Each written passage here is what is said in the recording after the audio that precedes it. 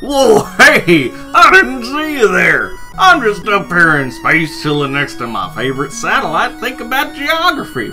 Hey, why don't you pull up a space chair and I'll tell you about old Bessie back there. In this video, we're going to talk about the geographer's tools.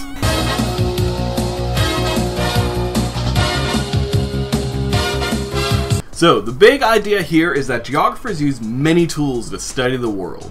And like a lot of jobs, geographers like to use a variety of tools to look at and study the world.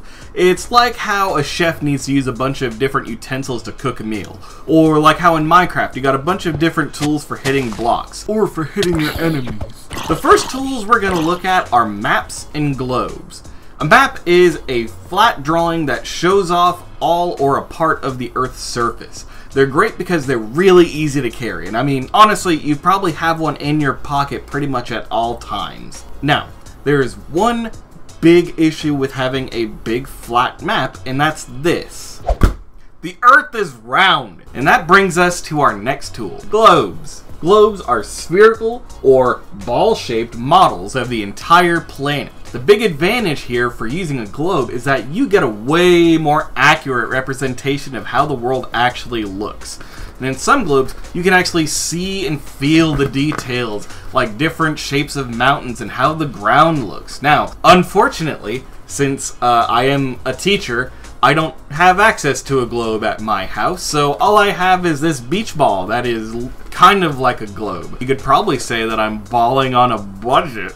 So in what situation would you want to use each of these things? Well, you can use a map for pretty much any instance that you would want to look at a small part of the world, also known as a region if you remember back to that one module I talked about. And maps can also tend to show way more information, and they're of course way cheaper to make, and you can carry them around a lot easier. Now you'd want to use a globe in pretty specific situations, which areas of the world have more mountainous areas, or what the earth might look like from space, or if you're like real bored in class and you want to spin the globe really fast and then randomly stop it to find out where you're going to live in the future.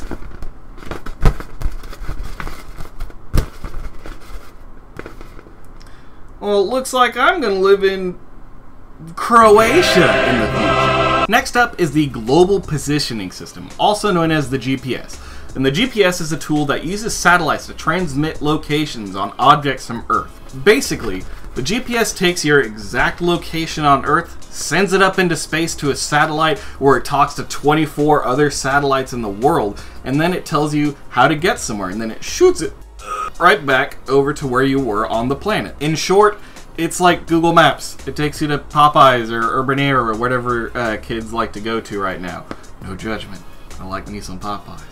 There's a whole lot of other tools that geographers like to use to show data, from charts to graphs to databases to models. There's a lot. So they need to use these tools to gather their data about the region that they study. So what do they do with all that data? They make big collections of data, hoarding them away like dragons in what we would call a database. And the database can range from just a simple Google Doc to a whole bunch of filing cabinets filled with secrets. If geographers want to share their database with other geographers, they make what is called a Geographic Information System, or a GIS. If you want a real simple example of a GIS, think about trying to find a place to eat in a new city that you've never been to. Yes, you could just go to McDonald's, you could go to Burger King or Buffalo Wild Wings, whatever garbage place you want to go to, but you want to eat somewhere local. So, more than likely, you're going to be using Google, which gives you loads of different information. Like uh, where the best restaurant is, where the restaurant is located, what's going to be on the menu, or why Karen doesn't really like the food there. In today's lesson, we learned that geographers use many tools to study the world.